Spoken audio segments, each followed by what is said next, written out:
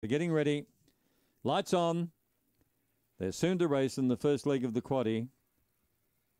Ready. Funky Monkey jumped brilliantly, is using the rail perfectly, will just hold the lead. Monster Foxy is up there vying for the front. Destiny Wahoo is angling for the rails run. Further back then, Lucky Whip coming around the outside from Nora Bale. Then came Eustace Road, well back in the field, Precious Parker, and tailed right off Rock the Bellevue in the straight. Funky Monkey is holding on grimly, wins by two lengths. Maybe Monster Foxy second with Destiny Wahoo in a tight photo. Not far away then was Nora Bale, Lucky Whip. Precious Parker gained ground. Uh, Eustace Road, and uh, must be something wrong with Rock the Bellevue. She was many lengths behind. 22 27, a slick time, and that is another winner for Operation Flinders. 1, 2, 6, and 7.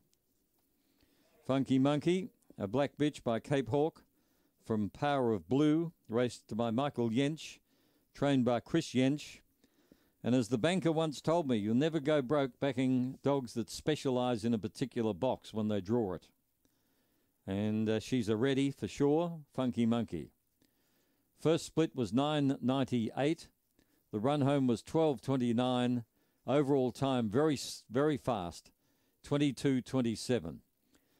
Now Destiny Wahoo has got second in the photo. Monster Foxy is third, and Nora Bale is fourth.